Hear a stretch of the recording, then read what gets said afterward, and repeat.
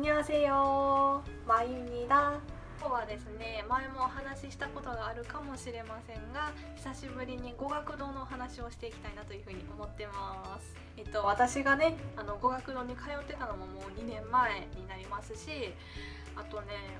今やっぱオンライン授業になってしまったりとか行きたい時期に行けなくって、まあ、時期をずらしされてる方とかいろいろいらっしゃるとは思うんですけれどもこれから留学を考えている方であるとか語学堂を探していらっしゃる方とかの、まあ、参考になればいいなと思って今回は語学堂を選んだ理由であったりとか私が選ぶ基準であったりとか、まあ、そういう語学堂のお話をしていきたいなというふうに思います。語学堂自体を選んだっていうことに関してなんですけど韓国留学っていうと民間の語学学校と語学堂の2種類があるのはご存知だと思います。じゃあ私はなぜ語学堂にしたのかっていうことなんですけども最初は民間の語学学校でもいいかなっていうふうに悩んではいたんですよ。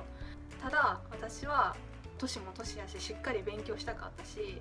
っていうこともあったので民間の語学学校ってなると月火行って水曜日休みで木金って感じで週4日しかも時間が語学堂よりはちょっと短くなったりするのでそれだったらもっとしっかり勉強できるせっかくね留学行ってるんだからしっかり勉強できる語学堂にしようということでいろんな語学堂をねネットで調べてどこがいいかなとかみんなのコメント見たりとかねそういうのでもうひたすら調べていました。最初は正直言うと有名どころまあ皆様ご存知だと思いますけど有名どころに行きたかったのは正直なところです。ただ有名なところってなると金額もやっぱ上がってきますしその分やっぱり設備であったりとか授業内容であったりとかはいいかもしれませんけどやっぱ値段がどうしても高くなってしまうというところで1ヶ月の学費の上限を大体15万円ぐらいで抑えていた決めていたのでそれを上回るところもパスのけていきました。できるだけ安いところを探していたところ、まあ、3つぐらいあったんですね。でその中で私が通った学校も入っててあとの2つ何で辞めたかっていうことに関してなんですけど、まあ、1つは上級までのクラスがなかったっていうところ。でもう1つはめちゃめちゃ立地いいんですよ。めちゃめちゃいいところにあって自分が馴染みのあるところにある大学だし授業終わってからね外で遊べるんじゃないかなとかいろいろ想像してました。ですごい魅力的だったんですけどもやっぱり私が通ったところの方があの安かった学費が安かったっていうとこですね。私はもう基準がお金安さで選んでるのでもうそこにしました。あと選んだ理由が2つぐらいかな。あって何かというとまずその学費が安いことと奨学金制度がしっかりあるっていうところあと人数がね少なかったっていうとこですね。今はかなり増えてきてるみたいな話を聞いたんですけど私が行ってた時はもう多くても3クラス少ないと2クラスみたいな感じで本当に人数が少なかったんですよね。なので人数が少ない分しっかりこうコミュニケーションも取れるかなって思いましたしなので私は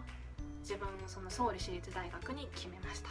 決めて、えーと、アポイントを取って、まあ、その語学堂の方にあのアポイントを取ってで、ね、ネットから申し込み用紙をダウンロードして書いてで他に必要な書類がねいろいろあったので準備をしてで実際に旅行に行った時に語学堂に直接持って行ってお願いしますってことで申請をしました。流れなんですがなので私はね本当に一番はやっぱお金で選びました。なんでかっていうとね自分で全部出してたっていうところが一番大きかったですね。学費だけじゃないんですよやっぱ。学費毎毎学期毎学期学費かかってくるプラス毎月毎月家賃生活費かかってきますし一時帰国するとなったら航空券代もかかってきますよね。で他にも例えば友達とどっか行った時のお金もかかってくるってなると本当に学費だけじゃないんですよね。でたのはやっぱ有名どころに行けたらいいし行きたいって気持ちは強かったけど結局はどの大学に帰っても絶対自分次第やなっていうのは思いました。どれだけいいとこ通っても自分が頑張らないと意味ないしどれだけ知られてないところに通ったとしても自分が頑張ればそれ以上の結果が出せると思うしそれ以上の結果ってちょっと言い方あれなんですけど自分次第やなって思います。結構質問で「どこの大学がいいですかね?」とか聞かれるんですけど私いつも答えるのが「どこの大学行っても自分次第だと思います」って言っちゃうんですでも本当にそうだと思うんです。よく聞かれるのがもう一個日本人が少ない大学の語学堂の方がいいですかね？日本人がいないところどこですか？とか聞かれるんですよ。聞かれるんだけど日本人がいてもいなくてもそれも自分次第であって日本人が多くていいとこもあれば悪いとこもやっぱあるんですよ。日本人がいることによってやっぱり分からないことがあった時にすぐにコミュニケーションが取れてやっぱ意思疎通ができるので聞ける聞いてもうお互いにこう情報交換しやすいっていうところがあると思うし逆に日本人といるから韓国語を話さなくなってで来た意味がなくなってしまうって思う方もいるかもしれないけど日本人の友達ができたとしてもそこで韓国語で話したらいいことやし逆にもう日本人と関わらないようにする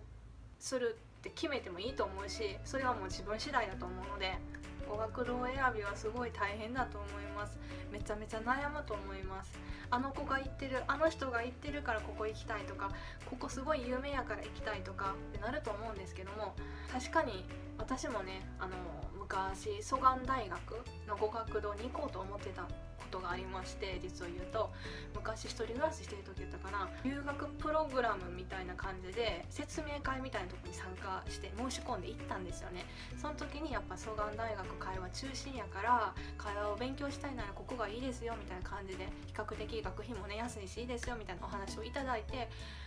正直本当に留学行く前まで蘇我大学も行きたかったんですけどいろいろ調べていくうちにやっぱ全体的なことを考えるとぱ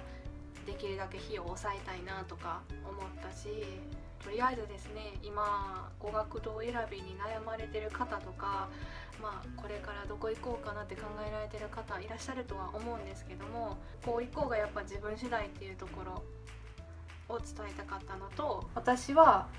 その当時あんまり知られてなかった大学の語学堂やったけど行って全然後悔はしてないです。はいむしろ本当に留学は行ってよかったって思ってます、はあ、はい。留学はね行ってよかったです。はい。お金めちゃめちゃ使いました。よくいくらぐらい使いましたかとかいくらぐらい貯金していきましたかとか聞かれますけどもうえらい金額使いました正直言うと。使いましたけど行ってよかったなっていうのは思うのでまあ今回の話とちょっとずれますけれども私が語学堂を選んだ基準と語学堂のまあ選ぶ時のその状況みたいなことをお話ししてみました。では皆様今回も動画を見ていただいてありがとうございました。では次の動画でお話ししましょうじゃないわ。お会いしましょう。バイバーイ。